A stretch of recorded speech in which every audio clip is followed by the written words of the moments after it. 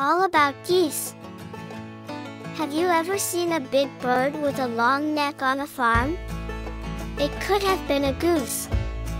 Geese are large birds that live on farms and by the water, with feathers in many shades of white, gray, and black. Geese have a long neck, a big round body, and short legs. If you look closely, you can see webbed feet, which are like swimming flippers that help them swim smoothly in water. Did you know baby geese are called goslings? Goslings are fluffy and yellow, and so cute. Just like a baby chicken, a baby goose also comes out of an egg. You might be wondering, where do geese live? They live near ponds or lakes on farms because they love swimming and need water to stay clean and cool. What about sleeping? At night, geese sleep on the ground. They find a quiet and safe spot, usually near water, tuck their heads into their wings and sleep standing on one leg. When it comes to food, geese aren't too picky. They eat a lot of grass, seeds, and berries. Sometimes, they might even nibble on small insects or fish if they can catch them.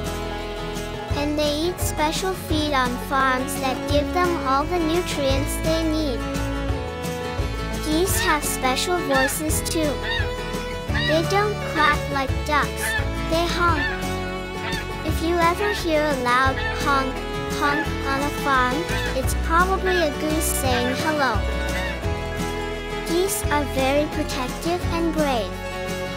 They look after their goslings and each other very carefully. If they think there's danger, they'll make a loud honk to warn everyone. Did you know geese can fly very high?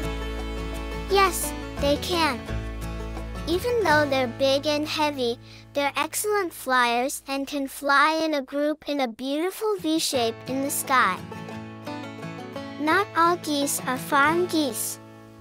Some wild geese migrate, which means they travel long distances when the seasons change.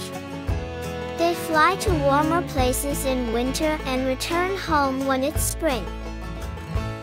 Geese are also very clean birds. They spend a lot of time preening, which means they clean their feathers with their beak to keep them nice and shiny. You might be surprised to know geese have teeth. They're tiny and on the edge of their beak to help them bite off grass and leaves. Even though geese can be noisy and protective, they are very friendly animals. They enjoy company and often seen waddling around in groups, looking for food, swimming, or just resting in the sun. So, that's all about geese. Next time you visit a farm, now you know a little more about these feathery friends. To watch more animal videos, like and subscribe to our channel. Thanks for watching.